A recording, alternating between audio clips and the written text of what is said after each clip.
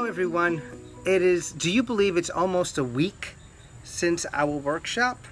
I'm here, guess where I am? I'm at the Feleo farmhouse. This is their dog Nala. Say, say hi. Say hello to everyone. Hello, hello. I wanted to say hi. I didn't do one post yet, but I uh, wanted to touch base with everyone and say hello and thank you and just share a few moments uh, with you. Uh, first, I, I got to, you know who I want to thank? I got to thank my mentor, Eric Morris.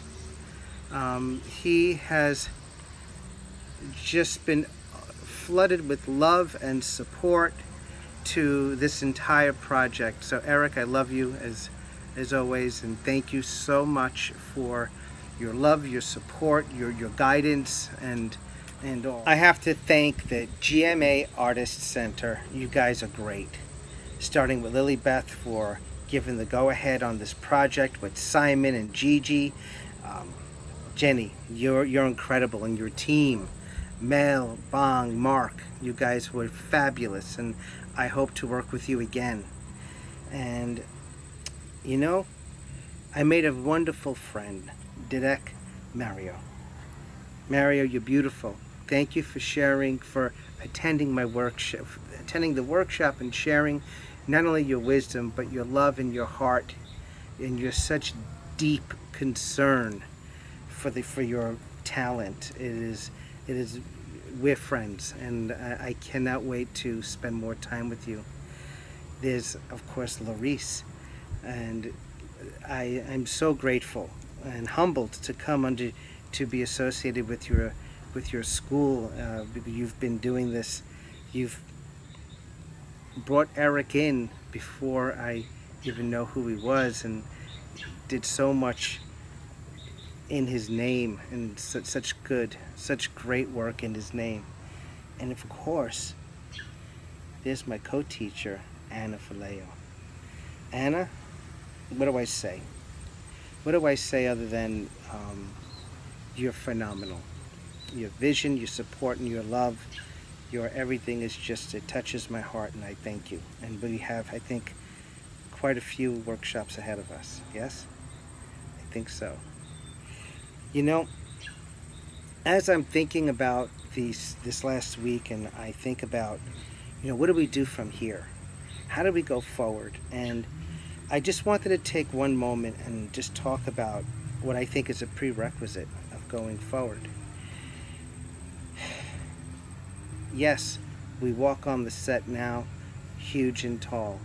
We walk on the set and we're brave. Yes, yes, yes. But it all doesn't mean all that much if we simply do not set higher standards for ourselves. And I want to really impress upon that because without higher standards, the work drops. It drops into a hole, you know? It doesn't help you.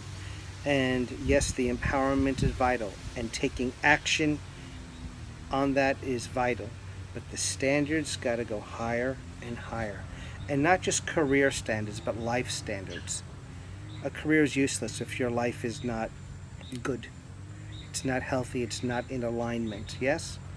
So I'm hoping that this is uh, all of you think about that and you really start setting setting higher standards and I thought about that for a while, you know, and I said to myself, what's a great example around here of people who've set higher standards? Well, there's quite a few examples of artists and just people and here that have set high standards, but one that sticks out is Laurice.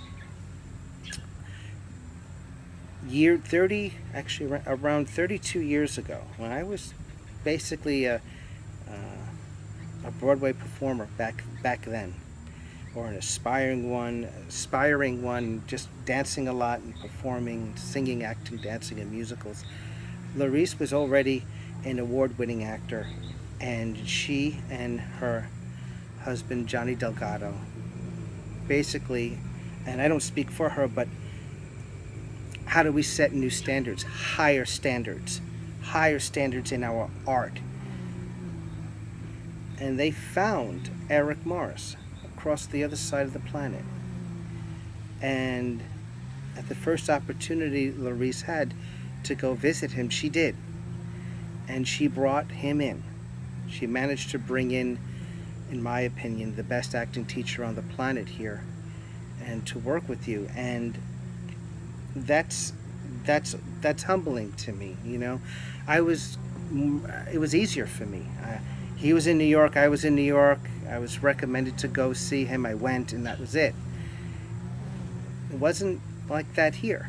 And so to be associated with the uh, Laurice Guillen actor studio in relationship to this to GMA and this is very humbling to me and, uh, and I have a lot of respect and reverence for that.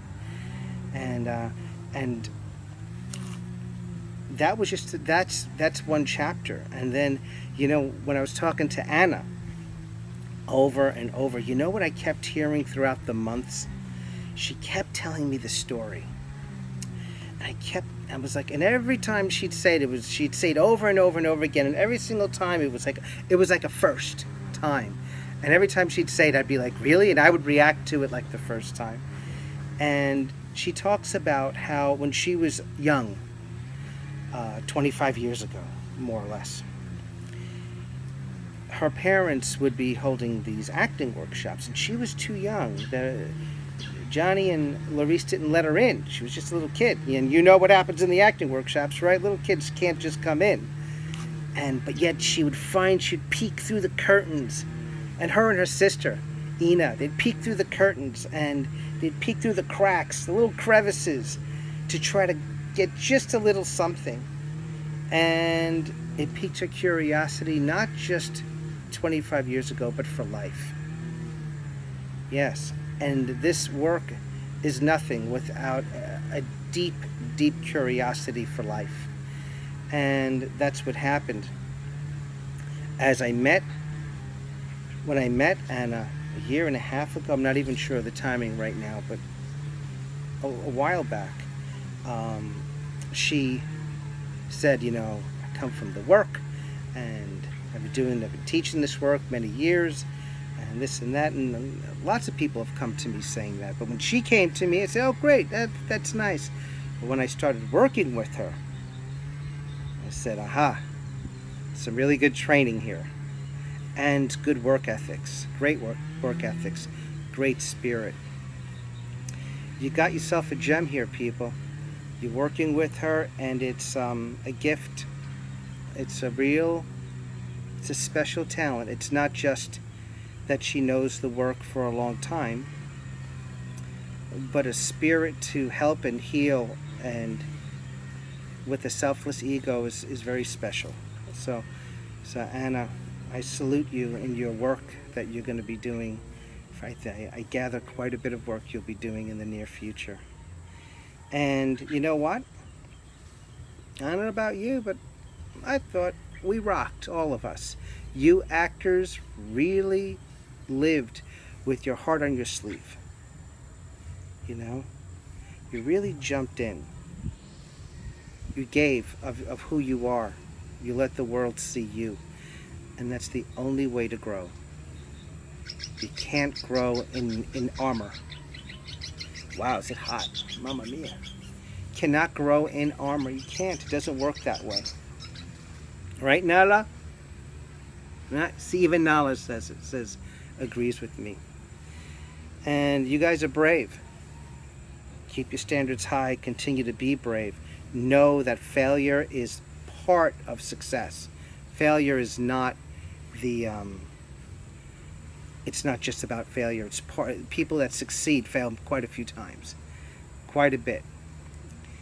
I say this funny thing. I think it's funny when people think, "Wow, Anthony, how'd you get to be whatever?" If they think it was successful, you know what I, know what I tell them? I tell them I ran out of failures. That's how, that's how I succeeded.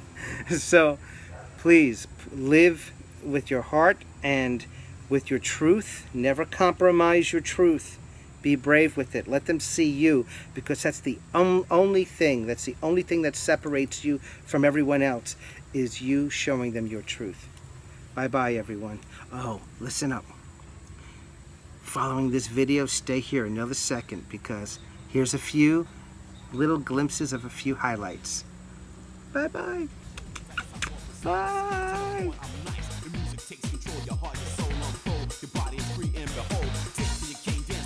dance no more. Get on the floor, get a bar. Flip, come back upside down, easy now. Let me see.